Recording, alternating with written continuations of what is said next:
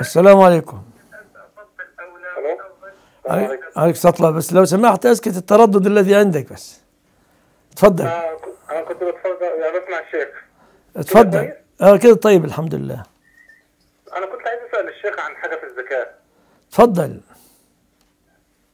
آه، حضرتك آه، أنا عندي بعض الماء يا عبد الرحمن عندي. فيلا إيه. آه، كنت خدتها من ال- من الحكومة يعني وبعد كده من سنة 2011 و- وبنيتها. وبعد كده جيت من سنة وشوية فكرت إن أنا أبيعها يعني وبعتها اليومين دول. طيب الحمد كنت عايز لله. أعرف إزاي أحسب الزكاة بتاعتها.